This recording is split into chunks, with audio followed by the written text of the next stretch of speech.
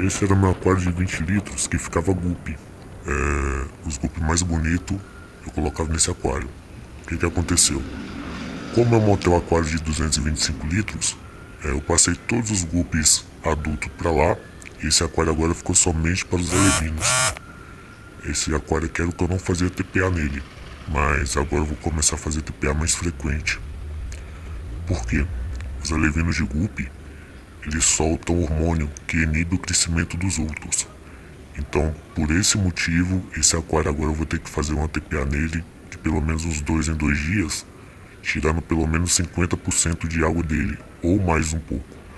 Eu tiro menos para não oscilar muito a temperatura. Mas ele agora eu vou ter que fazer uma TPA mais frequente. O que, que eu faço com ele? As fêmeas que está grávida, perto de parir, eu coloco nesse aquário. Quando elas criar, eu volto para aquário de 200 litros. É... As fêmeas que vêm para esse aquário não comem os alevinos porque eles já com um tamanho bom e eles são espertos, então ela não chega a comê-los.